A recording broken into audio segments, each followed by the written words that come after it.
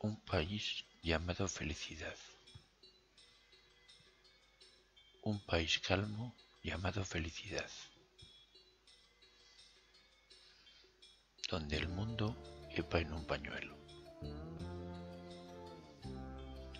No exista ninguna linde que saltar. Y por lema ondee la solidaridad y que por la sola proeza de nacer se vista la hazaña con la libertad. Y de ser igual, bueno, justo y feliz,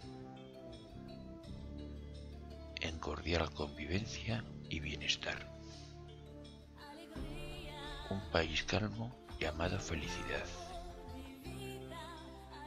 sin fronteras, moneda ni enseñas, ni gobierno magnates sin corruptelas, que dañen a la raza humana en su paz. Y en la que la armonía se respire, en roja sangre y los poros de la piel, con la amiga madre naturaleza y los mundos externos y amanezca. Javier Eguiluz